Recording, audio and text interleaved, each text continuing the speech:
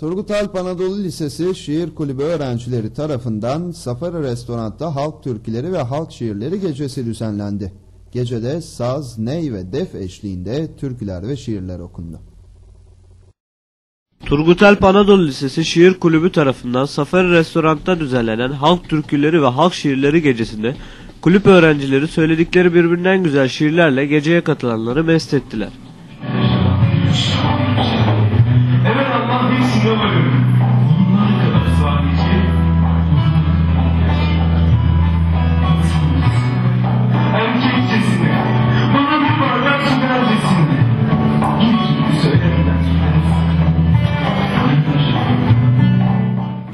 Programda bir konuşma yapan edebiyat öğretmeni Adnan Yalçınkaya, kültürümüzün en önemli besin kaynaklarından birinin türküler olduğunu belirterek, bunun için de böyle bir gece düzenlediklerini söyledi.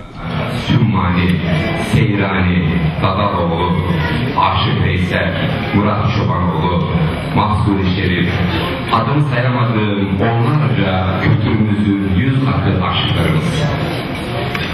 Turgut Anadolu Lisesi Şiir Kulübü'nün hazırlamış olduğu halk türkülerimiz, halk şiirlerimiz programına hoş geldiniz.